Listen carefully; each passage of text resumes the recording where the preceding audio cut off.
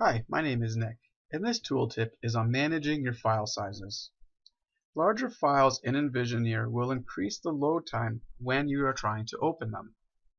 You can manage your file sizes in Envisioneer a couple of ways.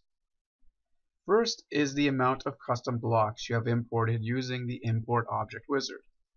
While this is a great tool for importing blocks to add to your design, you should take notice of the size of the file you are importing or creating. The more surfaces a block has, the larger it will be. As an example, some refrigerators will have all of the interior components included in the block. While this is a great amount of detail to show, it is detail that will never be seen in Envisioneer because you cannot open a refrigerator door. You can either edit the block and remove the interior components, or you can simply try and find a smaller block. In our catalog, we have a counter depth fridge. So if I open up the properties of that fridge, we can see that this is actually an imported block. And under the imported elements section, we can see that there is a simplify button. This will show you the amount of vertices or surfaces that are a part of that particular object. And here we can see that we are at about 4,000 vertices. This is a reasonable number. You will find that some of these numbers will be very large. But when I look at this block and I say render outline and I rotate this block around, we can see that inside this block we have absolutely nothing inside of it. Again, because we are not going to be able to open up a refrigerator door, you don't need to see all of the uh, shelves inside of it and the drawers. That is just information that is not going to be needed. The second is the amount of blocks and smart views you have inserted into your worksheets.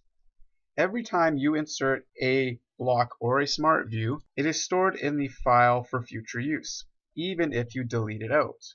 This is done by design so that in case you decide later on that you do need that block or smart view, you can just insert it again without having to recreate it.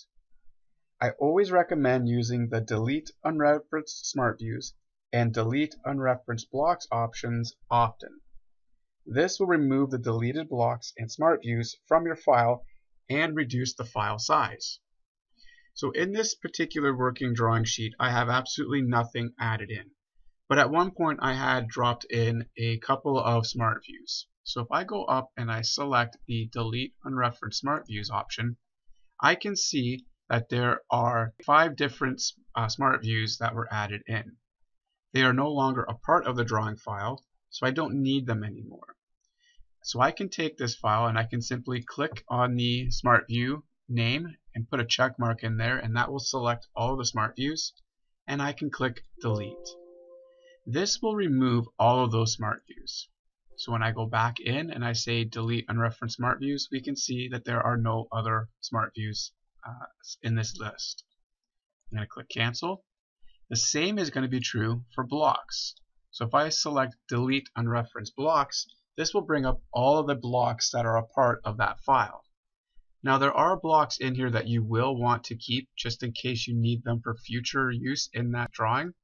So as an example, I would not remove the datum or any of the title blocks. But these two blocks down here that I've added in at one point and removed are now visible and I can select them and delete them out. By simply selecting and removing those blocks, I have reduced the file size for my particular file. We hope this tooltip helps you moving forward. If you like what we are creating, be sure to subscribe for future videos.